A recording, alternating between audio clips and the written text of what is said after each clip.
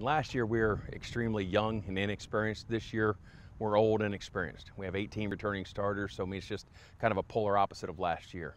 Well, yeah, our offensive line is our strength. We have seven guys vying for five positions, but four of them are returning starters. We have 77 starts as an offensive line uh, at this point. So, know, we have a lot of quality guys up there. The Stockman twins, of course, um, are both uh, Division One recruits and, and, good football players, and have really been leading us well up front.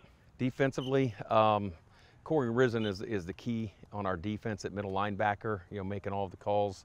Uh, we have really good edge play out of Damon Wolf and, and Gavin Wilms.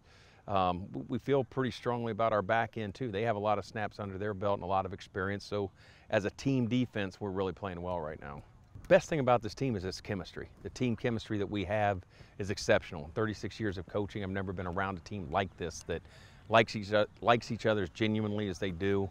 Um, spend time together. Football is the focus. I mean, with those relationships, it's just really neat to see it with kids this age. We play six receivers regularly, seven receivers when when Dylan gets back. Dylan Monroy is a great player for us last year, is injured right now, and so we'll have seven seven wide receivers rolling in.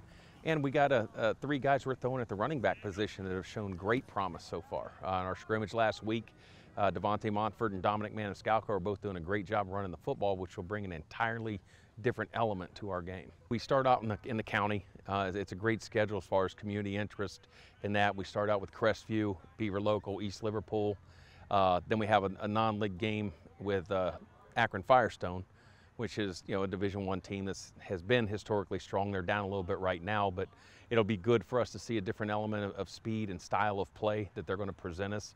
And then we're into our conference, which is an exceptional conference. So, you know, we have a have a lot of things to uh, to prove this year. You know, both out of conference and in conference. We're expecting to play for a long time. You know, we the, the kids have really committed themselves, uh, and they they would not. Uh, I think they're just they plan to be playing in December. So we'll see if that can happen.